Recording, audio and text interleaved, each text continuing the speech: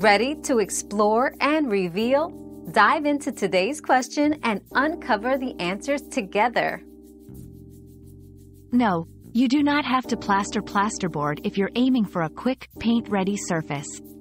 Plastering, however, does provide a smoother finish and enhances durability. For areas less visible or in need of temporary solutions, joint taping and filling can suffice. But for best results, especially in living spaces, applying a skim coat of plaster is recommended to achieve a seamless, high-quality finish. Our quest for knowledge never ends. Thanks for being part of today's discovery. Subscribe, like, and share to join us on the next one.